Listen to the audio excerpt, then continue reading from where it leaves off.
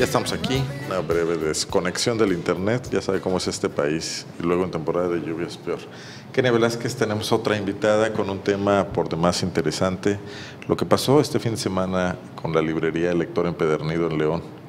Sí, nos acompaña Sandra Hernández, que fue parte de los heroínos, heroínas, héroes, que colaboraron en, en el rescate de estos libros. Vamos a platicar, bueno, Desalojaron, era una librería, el lector empedernido de libros de segunda mano, había de todo tipo.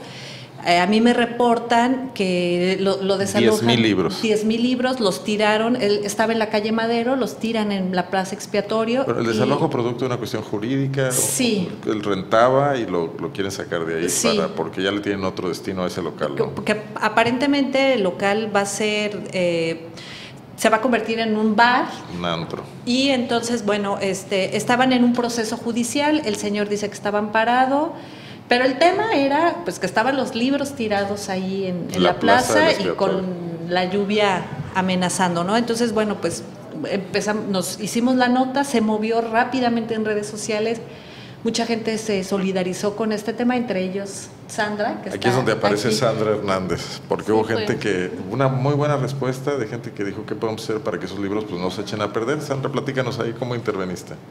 Bueno, primero que nada fue por la difusión que se hizo en redes sociales, por la nota de Zona Franca.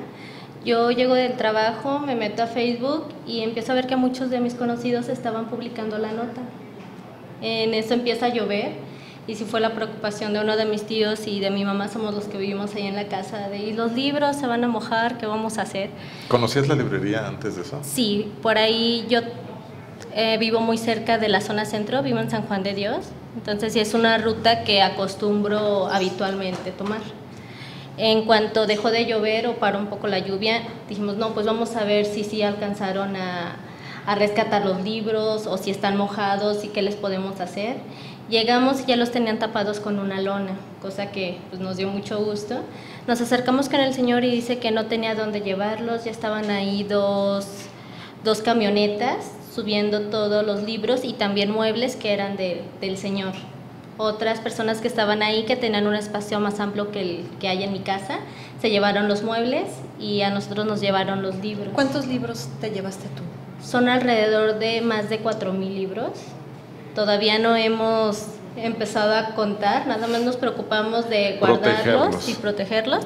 Vamos a empezar a hacer un inventario para saber cuáles son los libros que, que tenemos, cuál es la cantidad y ver qué podemos hacer para, para ponerlos a las ventas. Hoy me comuniqué con el señor. ¿Cómo se llama? El José, ¿verdad? Sí, José Espinosa. José Espinosa. Él dijo que lo que era más fácil era irse a los mercaditos a poner su... Mesas. Sí, su mesa de libros.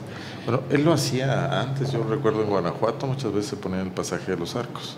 Sí, y además eh, nuestra compañera Denise Hernández lo entrevistó y él cuenta Al día que, siguiente fue a darle seguimiento al tema. que pues que era niño de la calle y este y en la lagunilla después de andar rondando por varios lugares de la República en la lagunilla descubrió esto de los libros de segunda mano y lo convirtió en su profesión. Pero bueno, eh, a ti quién te ayudó a llevártelos porque era pues muy complicado, ¿no? Este, toda la logística para, para rescatarlos.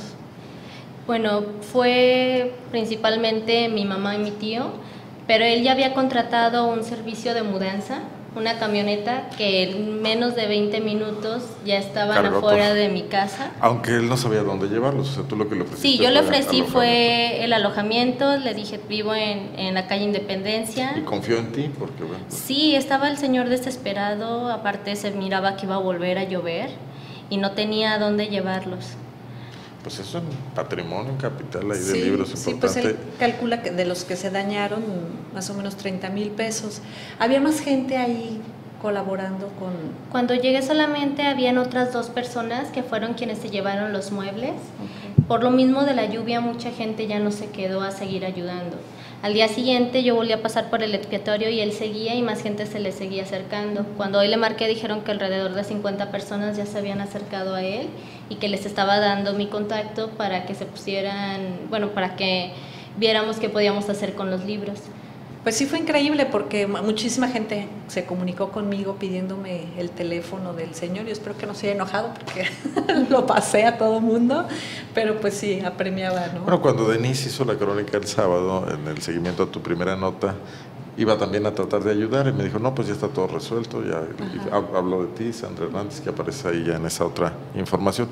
Pues a mí me parece notable la respuesta de la gente, porque estamos en un tiempo muy poco solidario, de pronto, y, bueno, tiene la fama León de que es medio refractaria la lectura además también, cosa que ya creo que ya quedó en el pasado, ya tenemos más librerías y son negocios sin duda y bibliotecas, pero fue muy padre la respuesta, ¿no? La nota sí, aparte fue rapidísima la respuesta de las personas, han sido muchas las que se han contactado conmigo para ver si se van a poner a la venta, ya hablando con, con el señor, me dijo que sí los iba a poner a la venta, pero que estaba buscando un espacio. Yo le ofrecí, bueno, yo me dedico a promover eventos culturales y a realizarlos. Le propuse el yo conseguir un lugar para que se pongan a la venta, aunque sea un día a la semana, y que toda esa gente que está interesada en qué fue de los libros pueda acudir y ver si hay alguno de su interés y puedan así ayudar también a, a él y que, que pueda volver a poner la librería. Y bueno, tú de los que ibas cargando, este, ¿qué te encontraste? ¿Algo interesante? Pues había muchísimos, a mí me encantan los libros viejos, había muchos que tienen hasta 200 siglos de antigüedad. Años. Digo, años, perdón, 200, no, 200 años de antigüedad. Y entre ellos también había álbumes fotográficos con, con, fotos también muy antiguas. Hay libros de todos los géneros, de política, poesía, novelas, libros de, que son de educación primaria, secundaria. De texto. Sí, así es. Entonces puede ser para todas las edades, gente que esté interesada, pues ponerlos a la venta, nada más falta encontrar el, el lugar. Y hacer el inventario. Y, además provocó... Eh, dos colaboraciones muy rápidas de dos personas que hablaron de esta librería, donde, bueno, pues tenía su personalidad, don José, se ve que hay, alguien relata su experiencia con él como librero, y yo, otra, otro artículo muy bueno, de, acuérdame de quién fue Kenny, el que hablaba de libros tirados en León. De ah, Mora. Guanajuato, un león entre libros y botellas, ahí está el artículo ahorita les digo el nombre, sí se pide Mora, ¿verdad? Sí. Ah, es este José Antonio. José Antonio, ajá, que fue el que me ayudó con las fotos, que estaba ahí en, en el lugar. ¿Y sí, de hecho, él fue el primero que se contactó conmigo, eh, con este amigo mío, y también se ofreció a, a, ayudarme a buscar un espacio para que el señor siguiera poniendo a la venta su Bueno, pues cuando esté ya el lugar, pues esperamos que que nos avisen. Claro, para que la igual gente... por medio de redes sociales, de la manera que se dio a conocer la nota, nosotros estaremos dando a informar si ya se encontró un espacio para poner a la venta los libros o incluso si se pueden poner a la venta por, por internet. Muy bien. Un episodio urbano y de, cultura en León importante de reseñar. Sí, sí, sí fue bonito, la verdad. No apareció en otros medios de comunicación, yo no lo vi. Avenida Digital, creo que nada más. Muy bien, nada más, pero Milenio, AM, ¿no? No, yo no vi nada de eso. Bueno, muy bien, muchísimas gracias, Sandra, por pues acudir a, esta invitación tan rápido. Y Kenia, gracias. Gracias. Vamos a una pausa, regresamos.